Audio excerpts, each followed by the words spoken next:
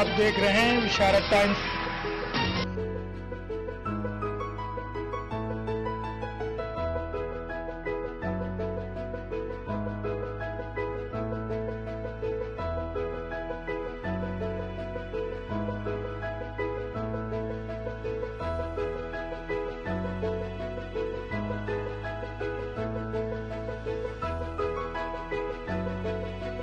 Thank you.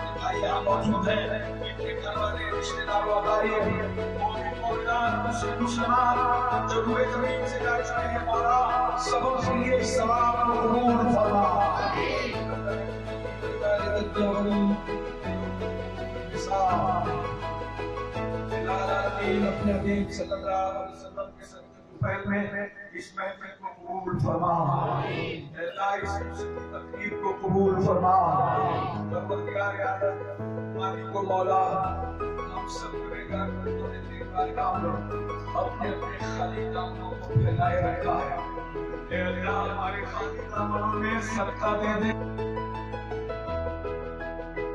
تازہ خبروں کے لیے کے ساتھ بیل آئیکن کو دبائیے اور سارا